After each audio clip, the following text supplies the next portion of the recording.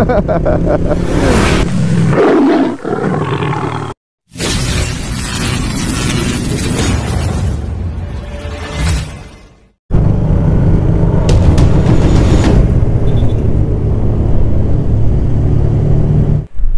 ninyo mga kapatid, yung kotse nasa bandang kaliwa. Kung anong gagawin.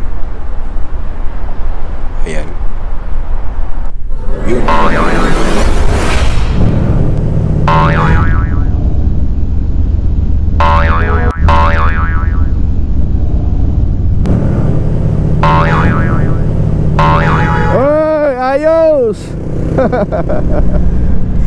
Ito rin, pansinin niyo din yung pulang SUV.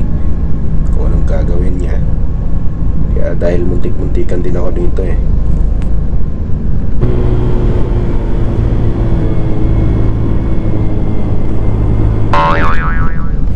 At yan, bigla na lang kumabig.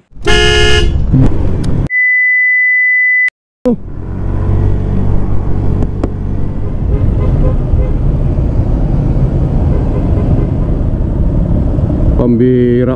At ito naman, nadaanan ko ring nakasalampak na sa daan. Mukhang binangga siya ng SUV.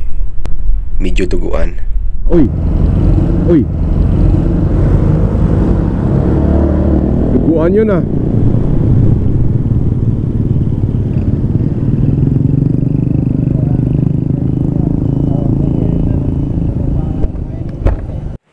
At ito rin, nadaanan ko rin ng madaling araw, nahagip rin daw ito.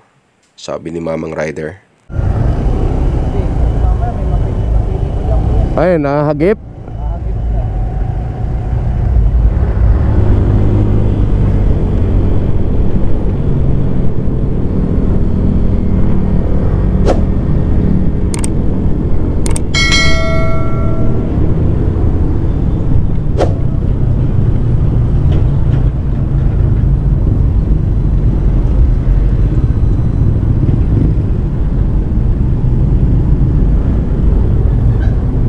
Oy.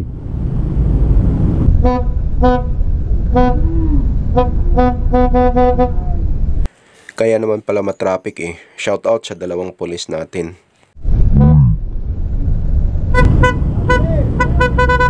Uy. Motor. Dalawang motor. Ay, may pulis naman na doon.